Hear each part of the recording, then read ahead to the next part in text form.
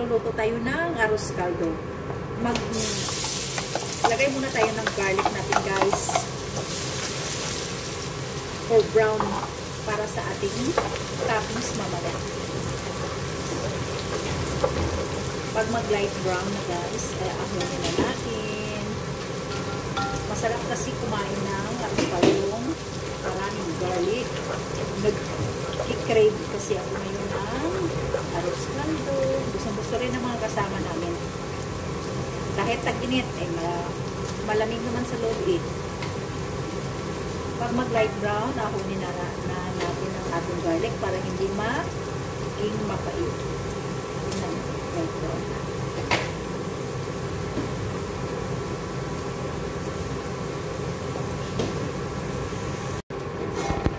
Yan, ito na guys, inaano na natin. Magtira tayo ng kahit kunti lang. Panggisa natin sa ating chicken, sa ating buto-buto ng manok. Hindi, walang breast ha, lahat ay mga buto-buto ng manok ang gagamitin ko. Masarap kasi guys, pag mga buto-buto ng manok, ang gagamitin natin sa ating arroz caldo. Ngayon mag-uumpisa na na tayo nagigisa ng ating sibuyas at luya. Ito na po ang aking brown na garlic. Pag sino kumain mamaya, ilalagay na lang sa taas with onion leaves. Magigisa na tayo ng ating onion guys. Kunti lang na onion ang dinagay ko. Mag light brown din siya. Inutusan ko ang tagaluto namin na kumuha ng tanglad or Thai leaves sa labas. Kasi may Thai leaves kami sa garden namin guys. Kasi masarap pag kasi ang arroz caldo na may Thai leaves. Silay sa Tagalog daw. Sa amin ay tanglad. Hintayin natin mag-light brown ang ating kwan, ang, ang ating onion, tapos ilalagay natin ang ating luya.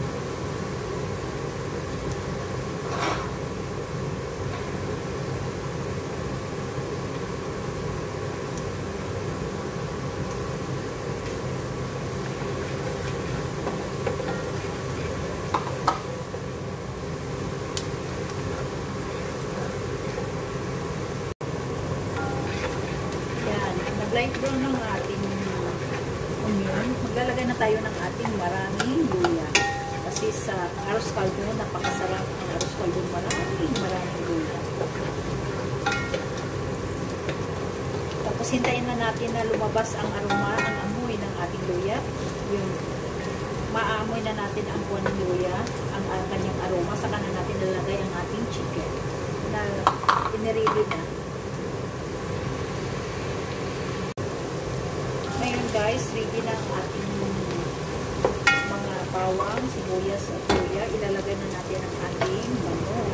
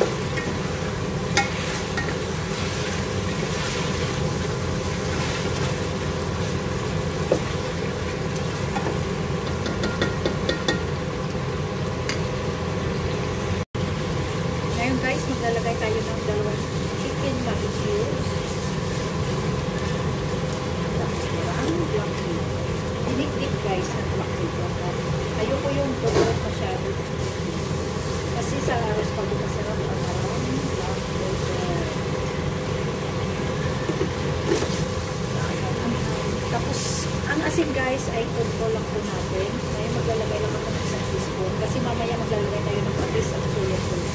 Tapos ngayon may mag-mix din. Kunting halo.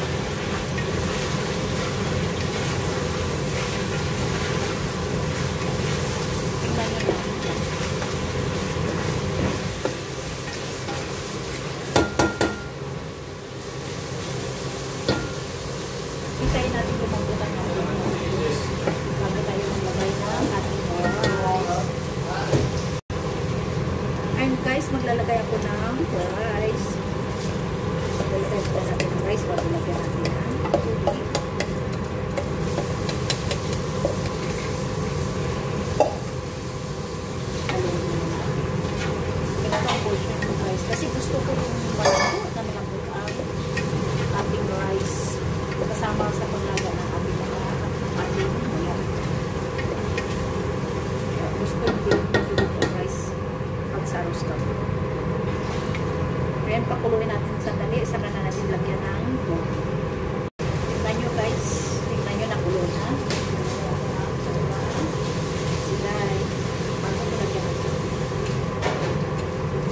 Lagyan natin ng ano na.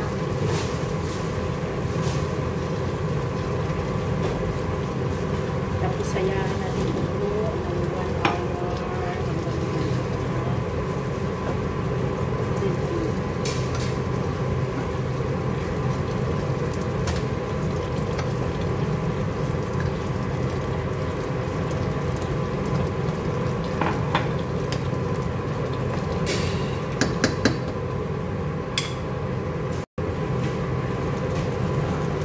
Tingnan nyo guys, pag mainit ang tubig na ilalagay nyo sa kanyang niluluto, tuloy-tuloy ang kulo ng ating ang pakulo. Bakit naglalagay ako ng ganito? Masarap ang lasa niya at natuwang lansa ng ating manok. Kaya natin kumulo ng kumulo ng kumulo ng kumulo ng ating niluluto. Ang ating manok at ang ating rice. And kumulo na siya ng kumulo guys, takpan na natin saka na natin titiklain ng sa iba pa natin ito.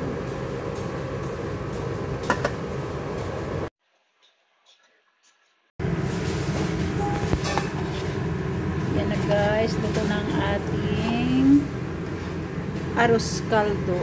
Yan. Luto ng ating chicken. Luto na rin ang ating rice. Ngayon, maglalagay tayo ng ibang pampalasa ng ating arroz caldo. Maglalagay po tayo ng konting soya sauce.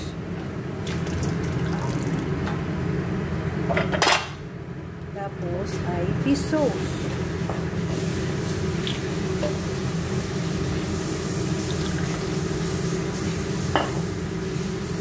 Yan na guys. Hintayin muna natin ng isang minuto.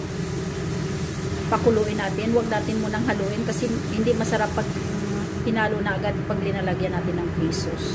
Fish sauce. Patis. Ngayon gagawa ko ng pang-garnish ng ating arroz. Dito fry muna natin ang ating garlic. Ito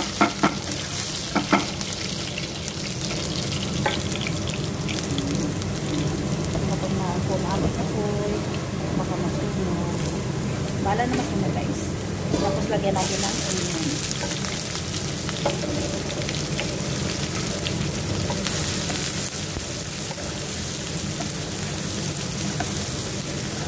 Ito ay garnish ng ating arroz caldo. Ito nagpapasarap guys. Tapos lagyan natin ng luya. Kailangan nyo na guys, kinakabayan kami naman kakain na. Yan.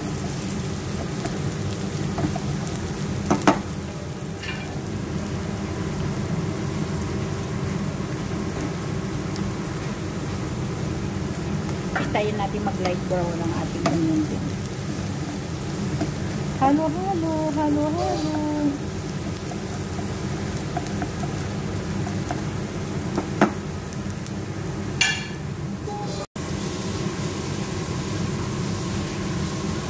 Yan na po guys. Brown ang ating pang garnish. Ngayon, ibubuhos natin dito sa ating dana arroz caldo. Yan. Yan. Yan ang focus ko ng aking garnish.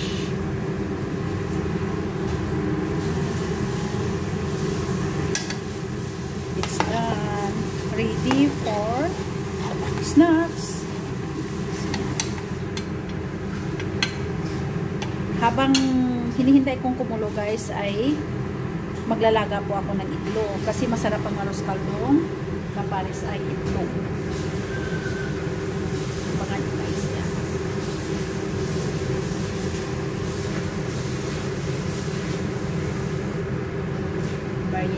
Na guys. Merienda na. Guys, magpa-platter na po ako.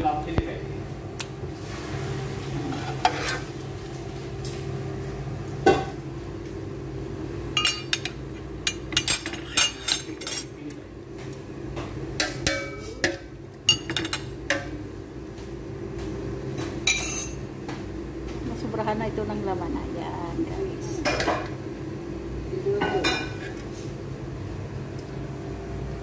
Platter time.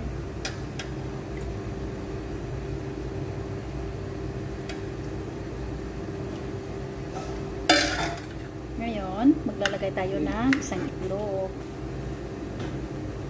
Masarap daw ang arroz caldo na may itlog. Tapos, ika-garnish natin ng onion leaves.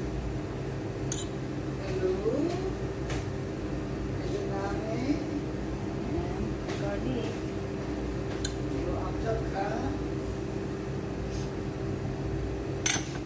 Ito na po.